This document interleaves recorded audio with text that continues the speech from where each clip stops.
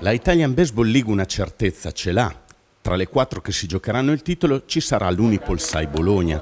Non era ben chiaro in campo sabato sera, ma guardando la classifica e considerando che la squadra bolognese ha 5 gare di vantaggio sulle quarte, Nettuno e San Marino, e che la prossima settimana è previsto lo scontro diretto, inevitabilmente Bologna si troverà con 6 gare di vantaggio su una quinta. Comunque, della brillante regular season della formazione parliamo con Claudio Liverziani e Marco Nanni. Sì, era quello che volevamo questo weekend di, di arrivare carichi anche dopo la, la, la settimana bella tosta di Coppa. Sarebbe importante qualificarci già subito settimana prossima per insomma, dai, programmare un po' la seconda fase, far riposare chi è un pochino più stanco e cosa che siamo riusciti a fare anche negli ultimi anni è servita, quindi speriamo già settimana prossima di chiudere. È una IBL eh, tutto sommato eh, piuttosto equilibrata, tant'è che eh, la, i tre posti a parte il vostro saranno decisi in volata molto probabilmente. Infatti sì, mi ricordo la nostra conversazione dell'anno scorso proprio a riguardo di questa nuova formula che secondo me è, è ottima, eh, c'è molto equilibrio anche dovuti a insomma, lanciatori stranieri di tutte le squadre sono di altissimo livello e devo dire che anche molti lanciatori italiani quest'anno hanno alzato il livello sicuramente anche delle partite che prima magari finivano punteggio più alto e, e non è mai, ogni, ogni partita non è, non è, più scontata come, come una volta, si può vincere, si può perdere con tutti.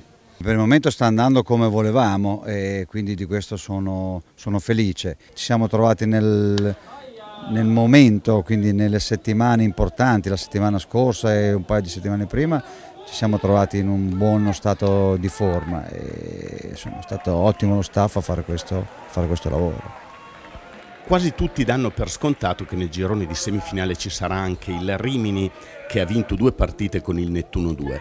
Per quel che riguarda gli altri due posti, nessuno si sbilancia, né i due bolognesi né il manager del Parma Gilberto Gerali.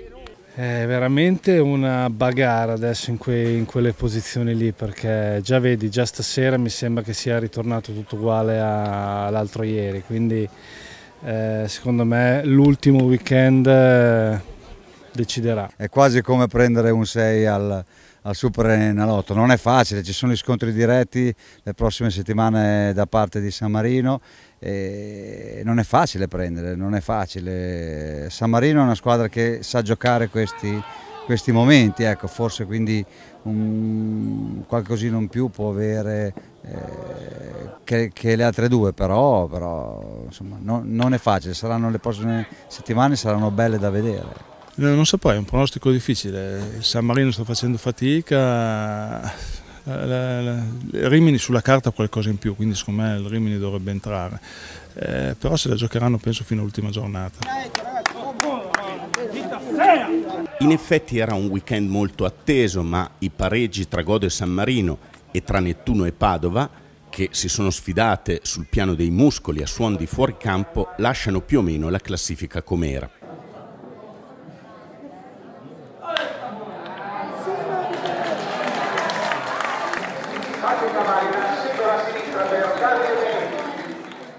Con Gilberto Gerali parliamo anche di questo giovane Parma che stupisce per buona parte della gara, gioca alla pari con squadre più accreditate, ma al quale alla fine manca sempre qualcosa. Abbiamo una squadra un po' leggerina che fa fatica a fare dell'extra base, quindi per fare dei punti noi dobbiamo veramente faticare e invece col Bologna se al, al, minimo, al, minimo, sbandamento, alla minima disattenzione te la fanno punire, guarda il nono inning e così. Però abbiamo girato la mazza meglio e quindi questo è un segnale positivo. Questi ragazzi eh, al primo anno sapevamo che avevamo fatto fatica, che sarebbe stato tutto più difficile, però ci sono dei segnali confortanti. Io dei ragazzi al primo anno tipo Fossa, De 8, eh, eccetera, sono molto contento. Stanno crescendo bene e così anche il, il resto dei ragazzi, anche i lanciatori, insomma, per, per otto riprese hanno fatto un buon lavoro, quindi sono contento. E per chiudere lasciamo il baseball e parliamo di calcio, parliamo del ruolo che Gilberto Gerali sta assumendo nella trattativa che Mike Piazza, l'ex campione italo-americano, sta conducendo per acquisire il Parma Calcio.